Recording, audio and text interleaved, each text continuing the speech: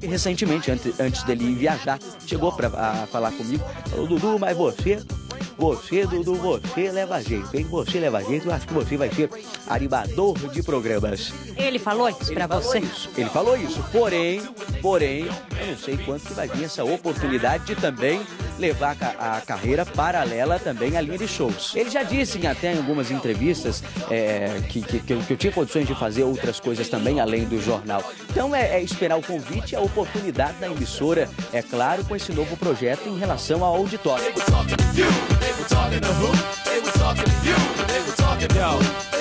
Entrevista, você disse que você gostava muito da Giovana Chaves. Giovana Chaves, eu acho ela uma bela menina, é, mas, mas assim, é complicado, até porque eu não sei se ela vai me querer. Eu estive com Giovana Chaves e levei o seu recado a ela.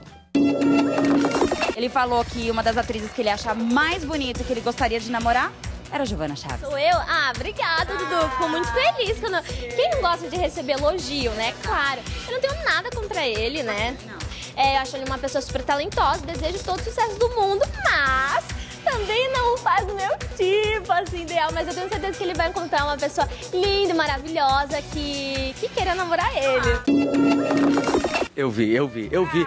Mas você sabe de uma coisa? Essa é a diferença da Giovana para com as outras. Ela, é, é, ela, ela sabe tratar. Ela sabe tratar numa resposta. Ah, mas ela foi linda, falou bem de você, mas só não fazia o tipo. Por isso mesmo. Giovana muito carinhosa com todo mundo, uma profissional excelente, por isso admiro ela e não volto atrás no que eu disse. A admiração continua da Giovana. Respondeu muito bem, carinhosamente. É isso mesmo, Giovana. Um beijo para você.